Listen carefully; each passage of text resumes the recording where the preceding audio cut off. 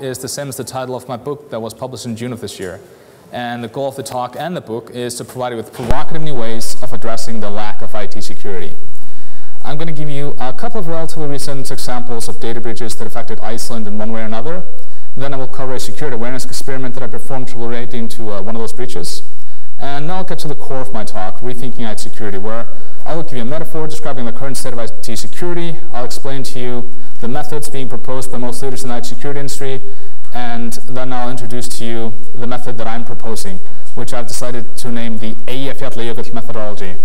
I'll explain the idea behind the name a bit later, but uh, hopefully by the end of my talk, I will have convinced you that the Eyjafjallajökull methodology is the only realistic and practical way of approaching this issue. So the, the first data breach that I want to mention has to do with an Icelandic telecommunication company or rather an Icelandic subsidiary of an international telecommunication company. But uh, before I get into it, how many people in here are full-time IT security professionals?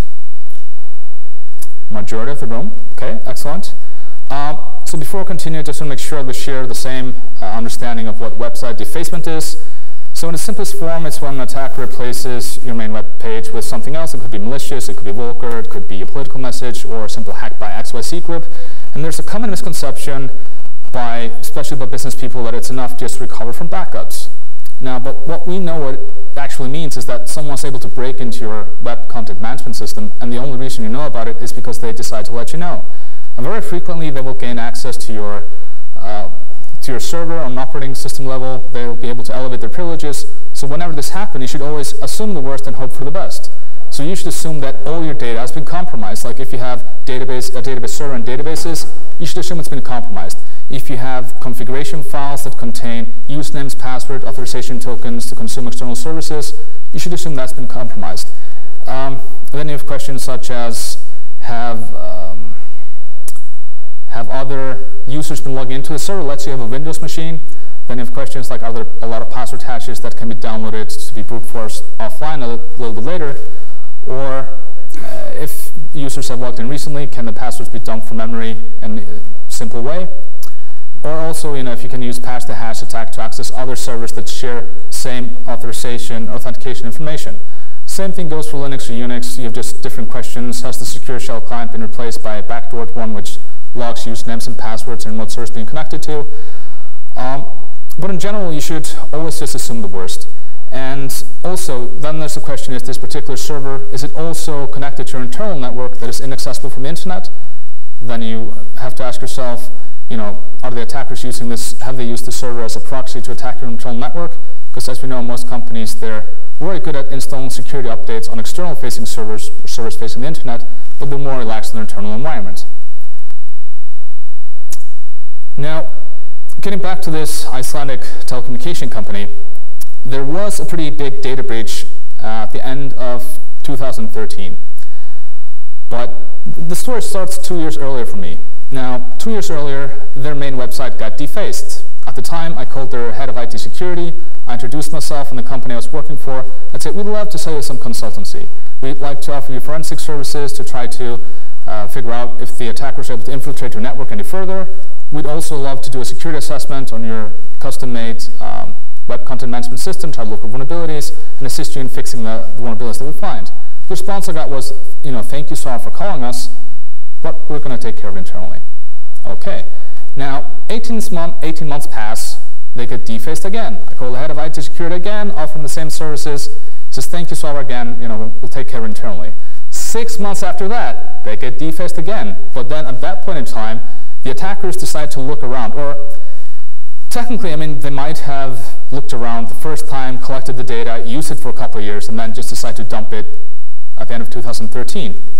But the data dump had personal information on a quarter of the Icelandic population, including clear text passwords. And uh, so there are so many things that are interesting regarding this issue, at least for me. But so, for example, my password got compromised. Uh, fortunately for me, I tried to have completely different passwords for all the services that I consume, so I was not really affected. But this really opened my eyes to just normal people. And I guess I'll, I'll mention Edvin's comments from this morning a little bit later in my talk, but there, there, I mean, I've lost count of the number of people that have uh, have conversation with me since the data breach, and they've confided me, uh, family members, friends, uh, coworkers, um, customers, and just various people at security conferences. There's a surprising amount of people that actually had a one master password for all services, and this was it. Or they shared the same password in multiple locations. And then you have uh, people like there's one senior manager who was working with me who actually sat across from my desk just to show you the, the impact. Now, she was a senior manager at the company I worked at. She'd worked there for over a decade, which means she had gotten security awareness training every year for 10 years, and she'd had to pass a computer-based exam relating to the security awareness exam, or security awareness training. But still, she was using this password in multiple locations. So what happened is that she'd been working through this weekend. The data dump was dumped on a Friday night. She logs into her Facebook account on Sunday, only to find out that someone had logged in as her and posted on her Facebook wall, maybe it's time to change my password, question mark. And to this day, she still doesn't know who did it. Now, just realizing that a person like that is uh, using the same password in many, many locations, it sort of makes you wonder, you know, what about executives, board members, stuff like that. And what makes it even more interesting is that this particular company, only a couple months earlier, they post a brochure to every home in the capital area talking about how seriously they take information security. So I mean, you sort of understand why if people have a few different passwords, they use one password for sites they trust, I mean, you can sort of understand why they would believe they could trust that particular uh, company. Now, there's a funny side note that apparently it looks like someone may have been reading OWASP Top 10 and read that you know you should always store your passwords hashed because next to the clear text column, there's a column with a hash of the password. Uh, so that's been entertaining. Now, included in the data leak as well included SMS text messages. So at the time, it cost about 20 cents to send a text message from your mobile phone. But if you log to the web content management system, you could send them for free. Now, there were a lot of interesting SMS text messages there. One included a member of parliament sharing confidential information with a news reporter. There was apparently one person cheating on his wife, which had very interesting visual text messages. So broke up the marriage, and yeah, it's, it a sad story in a way. But um, so let's let's get to the interesting points as well. Now, the Post and Telecom Administration in Iceland concluded that this particular telecommunication company had broken Iceland's privacy regulations. That was the conclusion, and the conclusion is from this year. I think it was might have been February or March of this year. Now, one of the things that they pointed out is that they did not even implement the basic controls, such as uh, protect the user's passwords. So, what do you think the impact might have been? Well, with the current regulation, there was no fine. Interesting, right? So this sort of might explain why the company was so reluctant to spend money on securing their environment if there's no penalty. How many of you in here have heard about the General Data Protection Regulation that will take effect next year in May? Okay, so there's a few people that haven't. So apparently the General Data Protection Regulation will take effect in May of next year. And if you would be found, for example, let's say you had a data breach and you would show gross negligence, like I believe they did in this case, then you can be fined either 20 million euros or 4% of your annual turnover. That's not 4% of your uh, profits, it's 4% of your annual turnover, so that can be a lot of money. So, I mean, imagine if,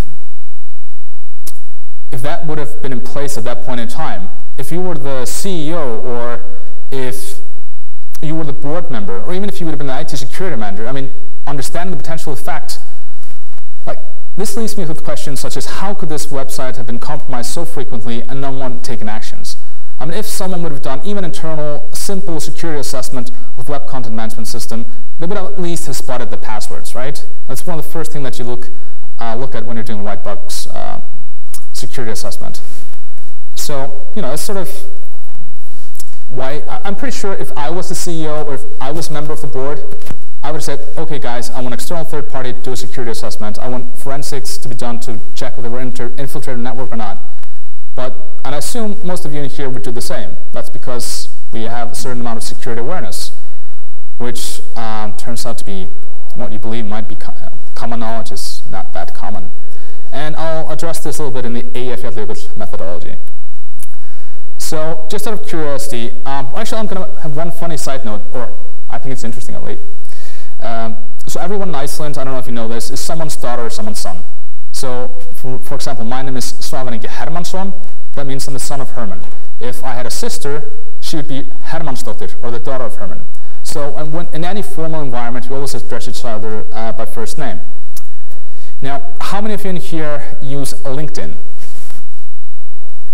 Okay. So how many of you are aware that in June of 2012, estimated 6.5 million LinkedIn um, user emails and passwords were, were compromised? That was a trick question. Because that's, that's what they believed until May of last year, where they found out, oops, 117 million. So tiny difference. And of course, it was the Russians. So that's a bit scary. Now, and if you think about it, until May of 2016, only a small group of Russian hackers had access to this information.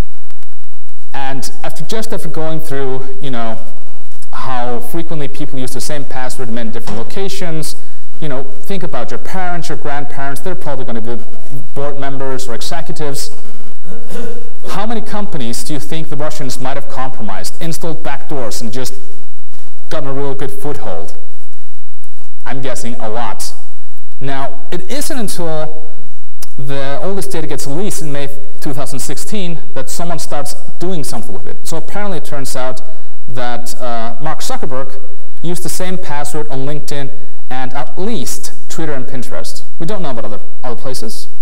So at least this tells us that the original attackers had access to this information at least for four years. And you know, for me, Mark Zuckerberg, he comes off as relatively smart. Uh, I've seen a photo of him. There was some interview with him, I believe. He had his computer next to him, and there was a, a tape over the, the webcam or the cam on his computer. So just keeping that in fact, I mean, thinking about that and seeing Mark Zuckerberg has such a simple password, he shares this on multiple occasions. So, you know, what about your parents and your uh, grandparents or executives and all those things? So I think that's, uh, that's very interesting. Now, looking at the data once it was released, I saw that there were over 12,000 Icelandic email addresses. So when I say Icelandic email addresses, I'm talking about email addresses with the domain name ansuz.is, which is the National Register for Iceland. Now, there was some media coverage in the US, uh, but in Iceland, there was none. So after two months, I had some summer vacation saved up. I started traveling around Europe, and I decided to do an experiment. So what I did is I put together an email, and I tried to I basically try to keep it as much in human terms as possible. And actually, if you go to the link, you can use Google Translate. It's in Icelandic, but you, I think it translates pretty well to English where I explained to them basically, I gave them the history. You know, I'll start with the email by why am I sending this email, and then explain that the password that you used at LinkedIn in 2012 has been compromised. I explained to them, you know, if, if you believe you're using the same password somewhere else, consider changing it. Also, if you believe you have are using or have been using the same password with your employer, please notify your head of IT or head of IT security because you know you might have been compromised. Then I also go further into explaining uh, two-factor authentication. I explain you know, how to activate it. I also explain the risks. You know, if you have a mobile device, we have an application you, when you have to confirm your, when you're logging in, and you forget your device at home, then obviously you're not going to be able to log into the service that you're trying to log into. I tried to make it as simple as possible. I even created, uh, I referenced the page that I said I would maintain if I get questions and answers, which I did. Um, and then at the end, I also included a short survey. I'll cover the results from that a little bit later. But I did this, I mean, I even got non-technical people to read over it, so it should have been relatively well understood. And the way I did this is I created a new email address using my private domain name, and it was a relatively long email address, so um, it would have been hard to guess, but you know, there are a few interesting points. Apparently not everyone was happy with my security awareness experiment. So apparently what happened is that um, as I started out sending these bulks out, I think it was on the fourth day or fifth day, apparently someone calls the security officer of my employer. This is my private domain, this is my private time and everything. They call, they call my employer. And apparently like he's, uh, I heard like he's like, you know, what the hell is Svavar doing? He's, you know, sending my employees emails, he's scaring them, and apparently, from what I can understand, one of the one of the ladies that worked there had received my email, and since she was scared, I'm assuming she might have been using the same password in the environment. And she goes to her to the head of IT. I'm thinking, yes, you know, she did what she was supposed to. But then I had mixed feelings because the security officer was apparently not happy with the results. And I was thinking, well, this was two months after this data was made public. So in my opinion, that particular security officer should have sent out an email. And you have services such as Have Been Pwned. So they should have been able to notify all their employees that had been compromised. So that person should not have been surprised receiving my email. At least they could have been happy. But anyway, after consulting with the head of IT security at my company, I decided not to send emails to the 120 other employees that had not received the email. So they're lost in my opinion. Oh, then there was someone who uh, wanted to sue me for breaking the privacy regulation. if they only knew. Sorry, like no offense.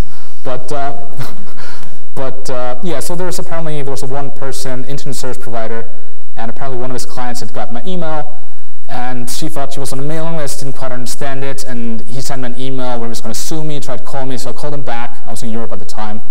And I tried to explain to him, no, no, there's a one-time email only, and I explained to him why it was. So the end of that conversation is, okay, so you're going to remove her from your you know, email list. I'm like, dude, there is no mailing list. I'm, you know, she's not going to get more email from me. I said, okay, what, I don't want any of my other clients to get one. I said, okay, any of your clients that have already received an email from me, they won't get another one, but if some of your other clients have been compromised and they haven't received an email, they're going to receive one more, they're going to receive a email from me. And that was okay, so.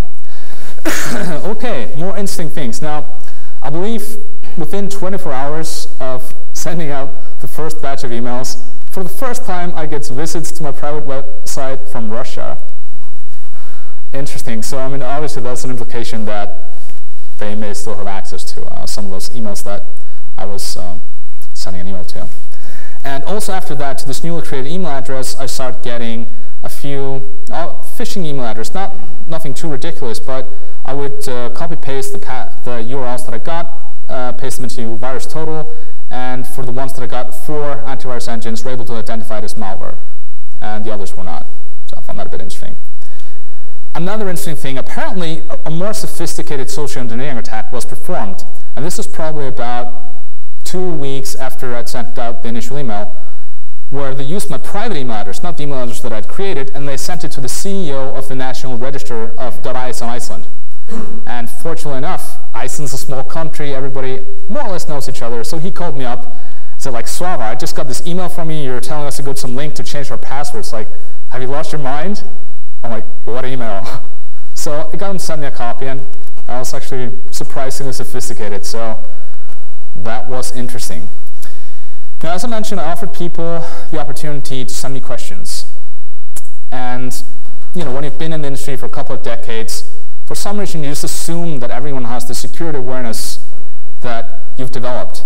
But here are some of the questions that I got. You know, thank you for the information. I have an antivirus product which protects my password. Isn't that enough? No. I don't understand this. My brother invited me to join this but I never did anything with this and I don't understand what it is. Shouldn't be allowed to own a computer. Okay. I'm not using this link, so I would like to ask you to terminate it for me. You are, of course, financially responsible in case of damages from this after not talking about this break-in for four years. And then, how do I know I can trust this email? So and basically, and these are just a few of the questions that I got. And this is very eye-opening. You know, I think about the original data breach in Iceland with the Icelandic telecommunication company, I'm going to try really not really hard not to name them because I don't like public shaming, and then with the LinkedIn data leak. When people's security awareness is at this stage, you know, it, it's very frightening. So I did include a survey where I asked people, you know, please, I'd appreciate if you'd participate in the survey and to give me your opinion if you like the email or not. So 97 people, uh, 9% of the people that responded to my survey, uh, they liked it. 2% claimed they didn't understand it. Half a percent really didn't like it. And then half a percent was uh, neutral on the issue. But you know, again, we have sort of similar questions. How could this happen to LinkedIn? Okay, at least it didn't have clear text passwords, but they weren't salting them, right? And again, how can people really not understand a simple email describing the breach and potential impact and two-factor authentication? I did it in human understandable terms, in my opinion. And again, the really scary thought, how many companies have been infiltrated since 2012 by the Russians. So now I'm going to get to the Eyjafjallajökull methodology, but before that, um, just want to go over a few interesting recent, not so recent headlines. So we talked about the 117 million password hashes that were uh, leaked from LinkedIn. Apparently that Ashley Madison, and some other from uh, Troy Hunt's passwords, like really uh, 320 million password hashes, they've been cracked. Uh, hackers gained switch flipping access to US power grids. 750,000 pacemakers have been confirmed as having cybersecurity issues that could let them be hacked. Russian agents hacked US voting system manufacturers before a US election. Again, LinkedIn maybe, I don't know, maybe not. Uh, hackers breached defenses of US voting machines in less than 90 minutes. Older news, the FBI warns, a uh, warns that car hacking is a real risk, and Prime Minister of Iceland resigns after the Panama leaks. Now, all those, all those headlines, is anyone here surprised?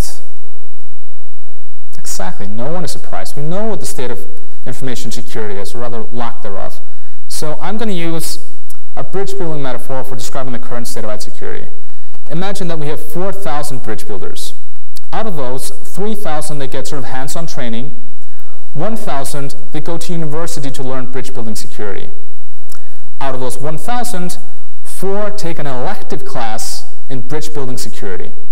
Okay, so let's take the 3,996 bridge builders, split them up into 500 groups.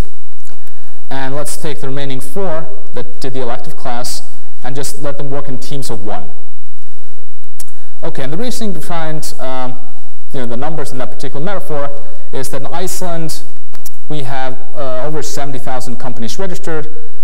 Over 1,000 of them are registered as IT companies. We have a Facebook group for programmers in Iceland. There's over 4,000 members, and there are three registered CISSPs. Okay, so let's imagine we have these 500 groups that are now starting to build bridges at, all at the same time, right? And then we have four security assessors. They're doing security assessment at the same time. Now, whenever they find a security vulnerability, they'll notify the original team. And the original team will either fix it or they'll say, you know, it's such an old bridge, you're going to have to buy a new one get it fixed.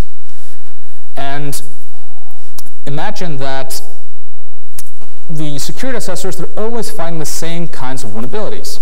Now, if you listen to a lot of the leaders in that security industry, and technically Edwin this uh, morning, now, ISC Squared, for example, they say the cybersecurity workforce shortage is projected at 1.8 million by 2022. In my opinion, whenever people are talking about potential solutions for IT security, it's about, you know, four security assessors is nowhere near enough.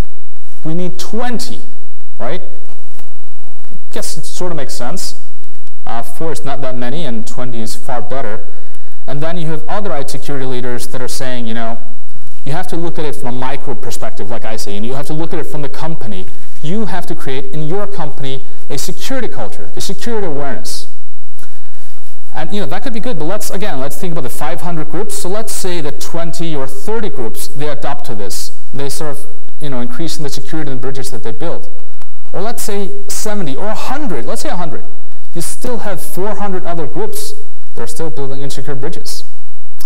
So the Eyjafjallajökull methodology, the basic concept is the only realistic way to address this is to teach every bridge builder the basics of bridge building security.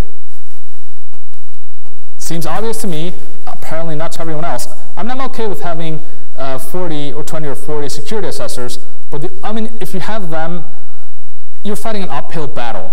This is the only way to get realistic results. Now, before I continue, I, I did say I was going to explain the Eyjafjallajökull methodology. So, how many of you have heard about a, uh, heard of Eyjafjallajökull?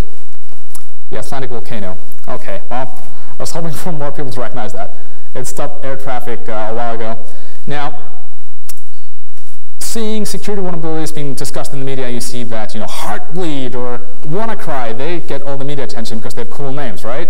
I, I thought I'd try my luck with this one. no luck so far. So, um, but yeah, so the only realistic way to address this, we have to do it asynchronously. And every single education level needs to be addressed. So we're talking about management, business, software development, system and network administration, board members of registered companies, auditors, legislators, and others. So what's really interesting to me is like if you look at the MBA programs of the Ivy League schools, like in the US, there is no mandatory IT and operational security class being taught. And considering the importance of IT and operational security, I mean, companies are going bankrupt, there's you know, a lot of fines. Imagine if the, the CEOs actually understood the potential implications. Then they could actually do something. So I'm not talking about that they have to stand, understand sorry, complex things such as what is a buffer overflow or format string vulnerability or SQL injection. They just have to need to know how to ask the right questions and understand potential impact on the business. So for example, has a vulnerability assessment been performed on an internal external network? Were any critical or high-risk vulnerabilities discovered? What were the status, what is the status of the remediation? Uh, also having process-related questions. Now in my book, um, I have a list of processes. I don't have time to cover it now, but uh, yeah. And also ask for an IT security report, ideally standardized for executives. Again, if you have someone doing a vulnerability assessment or pen test, ask them for an executive summary for something that the executives could understand. But of course, in order for them to be able to understand, they have to have gotten this education. How, like, even thinking back to the, the particular Icelandic telecommunication company, the head of IT security there, he didn't have any technical IT security certifications. So maybe he was, you know, he was really good at doing policies, processes, procedures, but just didn't understand the technical part. And don't get me wrong, policies, uh, process, and procedures is one of the cornerstones of uh, highly effective information security. But again, you really have to understand uh, the technical potential impact as well. And in Iceland, for example, if you want to be a board member of a highly regulated company, you need to go to the Financial Supervisory Authority and you have to pass an exam. So why not add an IT security, operational security questions to that exam that you had to pass? And of course, we have to support this. We have to have the training in place to offer it to them prior to introducing this. But I think that's probably the only realistic way of addressing that particular place. Now, if you look at computer science and software engineering, you know, what we need to do, and I'll, I'll get a little bit back to this a little bit later, but for some reason, education levels and the industry, they look at, you know, we have IT on the one hand and IT security on the other. So, you know, some uh, universities, they're now offering information security classes, but they don't really necessarily introduce it into their, their traditional uh, software engineering classes. Now, what I propose is that we teach all the professor basic IT and operational security and then make them point out potential vulnerabilities in the lectures. And also, the school books, they should not be allowed to have insecure source code. Or, you know, if you really need to, you want to save space, you want to emphasize a particular idea, okay, you can have insecure source code, but it has to be marked with big red letters, insecure source code. And when students, they have to hand in their home assignments, then if it contains a security vulnerability, they should be failed, or at least get their grades lowered. Because if you think about it, if you take someone, let's say someone goes to university for five years, then they go work for a big company, and you know, during five years, day in, day out, they've adopted some habits, right? And then they go work for a big company, and let's say there's, a, let's say there's one hour training per year on how to do secure software development. Let's say they show up late then you know there's a little bit of whispering the latest uh, office gossip, and then they have to leave a bit early to pick up the kids. You know, I'm, I'm trying to paint the, the worst picture here, but imagine, what do you think they're going to do? Do you think they're going to continue doing what they've been doing day in and day out for the last five years? Or did this one hour just change their life completely? I'm going to assume they're going to continue doing what they've been doing day in and day out. Now, there is um, all the stuff that I've been talking about so far, I mean, I know it's, it's big, it's revolutionary, and this needs to be on a policy level and a government level. I mean, this is policies that need to be set. There's a lot of resources that are required. It needs a lot of cooperation. So, I mean, it's, it's a lot of work. And we have to do it asynchronously as well. Now, there are a few low-hanging fruits, though, that we could start applying right now today. I was actually hoping someone from Cisco would be here. Um, so how many of you are familiar with the, the Cisco certifications and Microsoft certifications? Okay, some of you. So now, Cisco and Microsoft, they have these certifications so you can show how good you are, at least you know the basic skill sets. Uh, for the Cisco Certified Networking Associate, there are nine different types of certifications. Now you have the one particular one, which is CCNA Security. I would say if I want to hire someone to run my routers and switches, I would want them to have a certificate, and I, I have Cisco equipment, I would want them to have a certification from Cisco. I would want them to be a CCNA in routing and switching, right? I mean, that would make sense to me. Now, if you look at the, the requirements for that, you have to pass the ICND1 and the ICND2. And technically, there is one exam that combines the two, but that's basically what you have to, uh, have to pass. Now, technically, they cover like a tiny, tiny bit relating to IT security, but it's, for my purposes, non-existent. However, if you look at the CCNA security exam, that is impressive.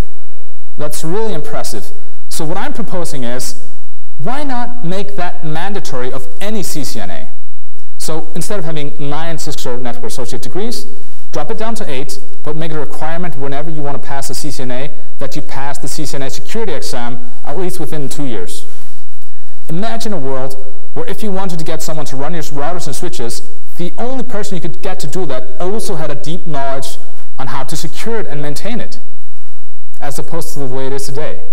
For me, that's a, that's a pretty, pretty beautiful, beautiful world, beautiful picture. Now, if you look at the Microsoft certification as well, they now have Microsoft Certified Solution Associate. And let's take a look at the Windows Server 2016. There are three exams that you have to pass. And again, they more or less do not really touch on IT security. If you want to become a Microsoft Certified Solution Expert, then they do offer, so basically you have to pass one out of 10 optional exams. One of them is Securing Windows Server 2016. And again, looking at the material they have there, again, looks relatively impressive. And what I'm proposing is basically the same thing. Why not make it a requirement for just even a Microsoft Certified Solution Associate? Why do we want to distinguish the two? Why can't we just make, if you want someone to run your operating system or run your servers or whatever, why not make it a requirement that they have the basic skill set for information security? So, and in my book, I do also cover, I mean, I do put emphasize that legislation can be very helpful, especially now with the GDPR, at least in Iceland. Uh, this is going to increase security awareness a lot. Um, I throw out some ideas that I know are also maybe relatively unrealistic, but I wonder whether you should maybe require some sort of an exam. Like if you think about it, if you, if you want, at least in Iceland, if you want to have a gun license, you have to have someone to recommend you, you have to uh, take an exam, you have to get some training. If you want to become a, a pilot, you have to pass examination. There are always, always sort of things that you have to pass, but apparently not for software development. Why not make a similar certification program there? So, you know, if you want to do, if you just want to use a computer, you still have to show the basic skill set. It's sort of like your driving license. And then if you want to develop software, but just internally, maybe you have a little bit more requirements. If you want to develop software that's being consumed externally or in commercial sense, higher requirements. If you want to work in the health industry, you know, like pacemakers, or you know, you want to program software for a car, then there's even higher requirements. So anyway, I'm, I'm throwing out a lot of ideas that I consider relatively interesting. And um, I do have the book with me, and if someone gives me an interesting question, uh, I will probably give you a copy. Otherwise, I can give you a fair price for a signed copy. I do have a few books with me, but uh,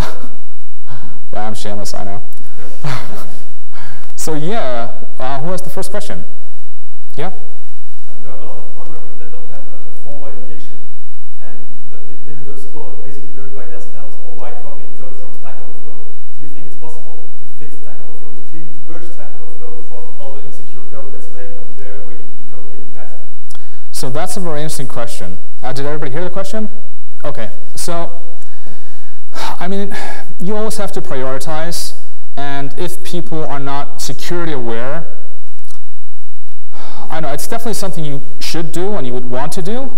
Uh, there could be sort of a community project, and I mean, because I mean, I've heard of a lot of cases where people have copy pasted code that actually had security vulnerabilities in them, and there are stories that you've heard that someone actually intentionally pasted that code because it contains security vulnerability. Uh, it's definitely something that could be done or could be tried to be done. I'm not sure where in the prioritization it should go, but uh, yeah, it's that's a good question. Yep. I just don't fully understand GDPR. Yeah. is there some way that senior management, if they're going to be responsible for a failure, is there some way they're going to be held accountable, or they're going to be yeah. as a, as a Yeah, I mean, so technically, I mean, by law, they are accountable for the operational security of the company.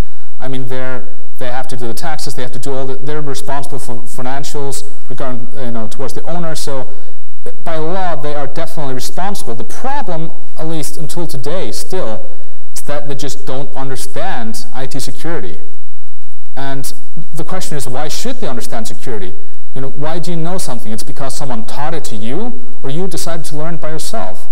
And if, if, they, if it hasn't been taught to them, then you can't really expect them to, to know it. So I know, I know there's a lot of workshops relating to the GDPR. All the consultancies are trying to really sell uh, consultancy hours, so they're doing a lot of they're doing a lot of work for us, but not as deep as we'd like. is there going to be like a, a register or some sort of audit that they have to pass in order to confirm that they meet? Yeah, so basically, uh, the way it works is that uh, the legal system, uh, the law is changing a little bit now, and you have to be compliant, and you can be audited, and some companies will definitely be audited, um, but obviously there are, like in Iceland, when you have 70,000 uh, companies and the people working at the Data Protection Authority are not that many, then you know obviously they're going to prioritize or do some risk-based assessments. If someone sends them pointers, I would assume they would follow up on that.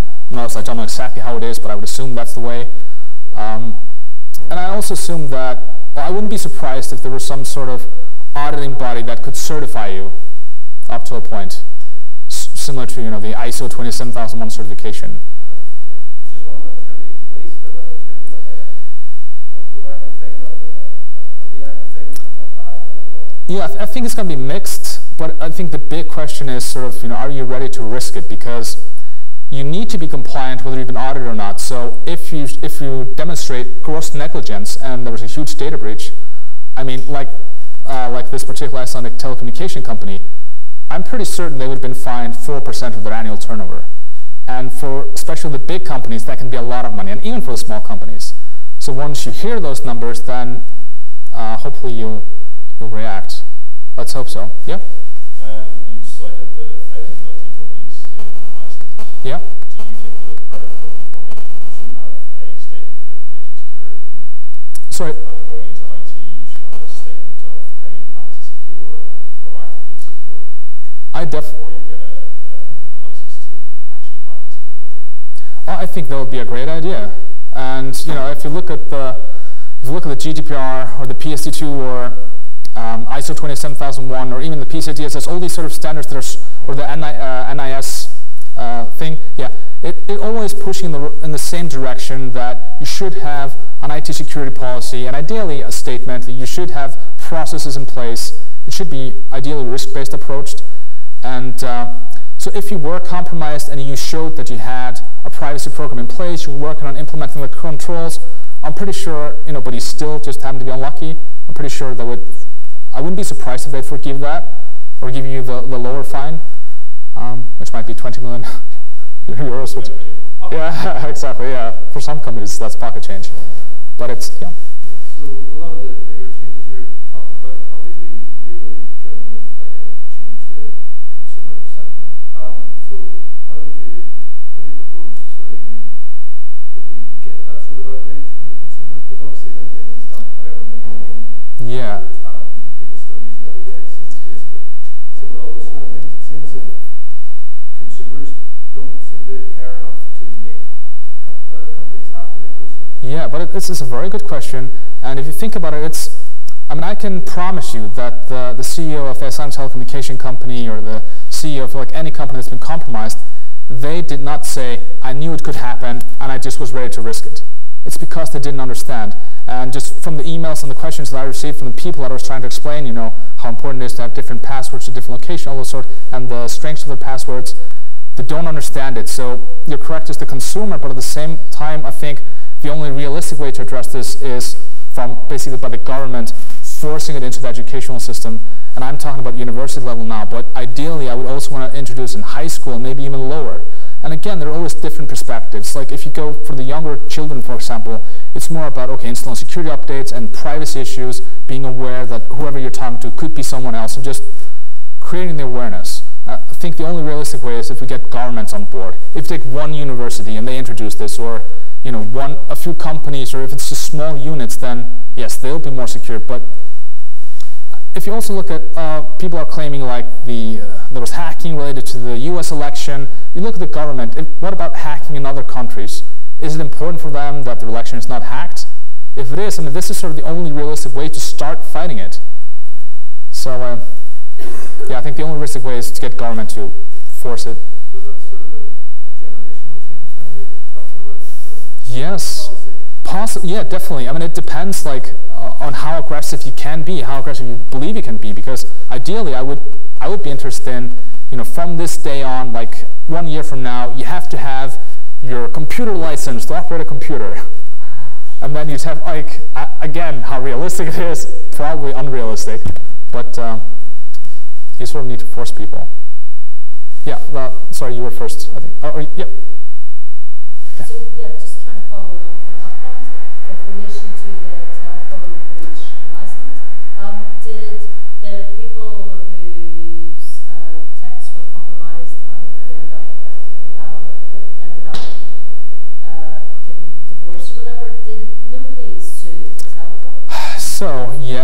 there was there was a lawsuit, but it was covered in the media when a group got together to to sue this particular company, but then it was never talked about again.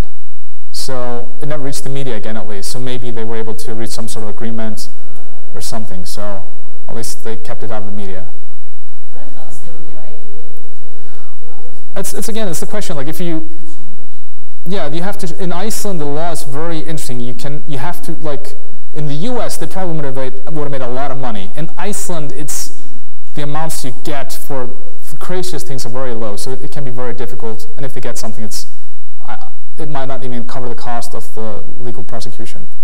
Just yeah. Um, you're talking about making this mandatory we need to understand this. And uh, we're not the only people saying that, that security should be mandatory, somebody says chemistry should be mandatory, somebody says ethics should be mandatory. Yep. Everything is a requirement everything. Do you think it's more realistic to say that it's a to use an automated tool like a static code analysis that I was talking about earlier, rather than everybody learning about this? I, I, I definitely, it's a good question. I completely agree you should be using static analysis tools. You should be using every possible tool you can, but you should not rely on that. You should do both. Because, I mean, even use static analysis co codes, I mean, um, tools, sorry, you'll, you'll find the low-hanging fruit, the SQL injections, the buffer overflows potentially, at least the obvious ones. Um, but you're not going to find logic vulnerabilities. And again, it's not going to make people choose secure passwords. It's not going to make pe people enable two-factor authentication. There's I guess you're relying on those tools not being vulnerable themselves as well. Yeah, exactly, yeah. So there's, I mean, I think the only realistic way to address this is, is we have to force everybody, like using the bridge building metaphor, I think every bridge builder needs to be trained in the art of uh, bridge building security. I guess one of the reasons is so we see there's an arm of experts and there is the products there are more way more products being built than you can actually possibly uh, have an expert for. Yeah, exactly. It seems like a smaller group should have a wide effect, small group of experts should have a wide effect, like building the tool that is mandatory to use. Well, here's the thing though, like, if you, if you haven't taken a class on IT security, you don't know this tool exists, you don't realize why you need it, right? Why should you spend like, oh, the tool exists like Veracode, it's, it's not cheap. You know, you can use that for static analysis. It's pretty cool. And the company I work for, they, they use that.